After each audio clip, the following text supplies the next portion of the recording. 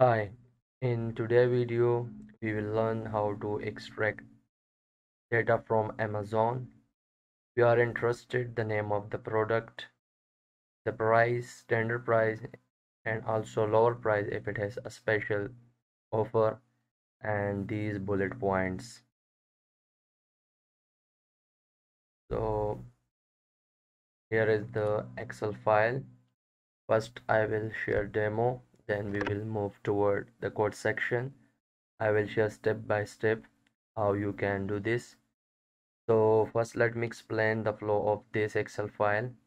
So here I create different sheets for each version of Amazon currently only for UK US and FR so the sheet name will be the code for each country. Let's suppose for Amazon for France version here you can see Amazon dot let me show you. This one you can see here amazon.fr and here also for this one Amazon dot de this is for Germany. So that's why I assign name according to the country version. So for these ASINs or product ID I'm interested to search on Amazon French version and the fields in which we are interested the item name standard price lower price and the bullets these bullets points. So how this will work i will select one sn or multiple like this. And when i click this button so it will open chrome browser and extract these fields in which you are interested so for demo now i am selecting only this one pressing this button. So you will see that it will open chrome browser in french version because the name of sheet is fr so you can see here fr so once it's done this will be closed and we can see our target fields in excel file.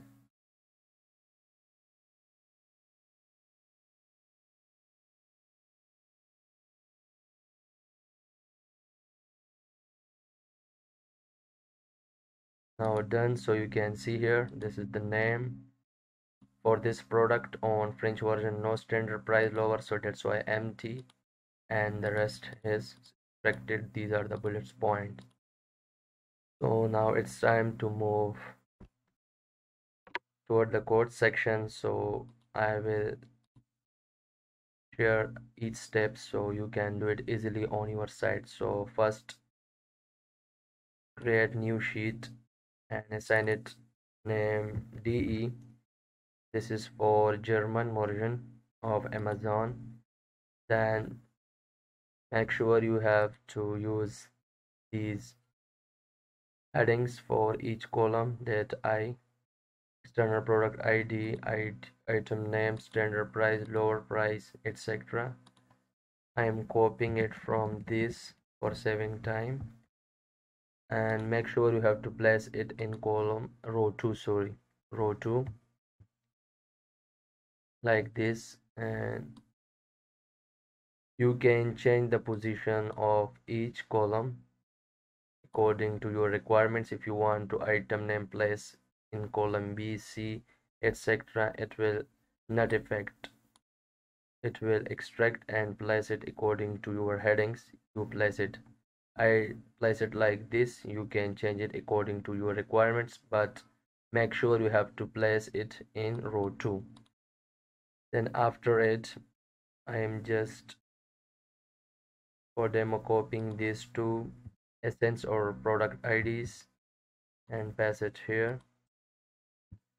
So you can place your SN or product ID here. Whatever it, if it is 10 20 or more than it. Now so it's done. Now we have to move toward the code section. So i'm pressing alt f11 from the keyboard and here is the code. So let me explain it step by step. So this is the name and get sheet name. So it will uh, get the active sheet name active sheet dot name. So it will save on country variable. If country is equal to uk so for uk version amazon use amazon.co.uk so that's why i apply condition here and for us.com so that's why i use here com. So now we will find the index of each column. So that's why i use here loop for i is equal to 1 to last column. For i is equal to 1 to last column. So if active sheet dot cell this is for row and this is for column. So start from 1 up to last column then if found external product id then it will be assigned pid column. And similarly for item name it will be assigned this variable. Similarly for bullets point b1 b2 etc and this is for standard price column and this is for lower price. Then after it this dim driver driver this is the default structure we are using from the very beginning. So up to this now here is the main logic dim cell as object. So as i mentioned we will select like this one sn or two or more than. So this is for this region cell. So when selection we select some ASINs or external products. So it will loop on each cell and then get the sn or product id if sn is not equal to empty and bo is for make sure that it has a valid sn or product id so that's why i apply here bo to check also. Then visit that link according to the country version and then wait for 10 seconds so the page load properly then get name. So this xpath is for getting the name of the product this one. And then after it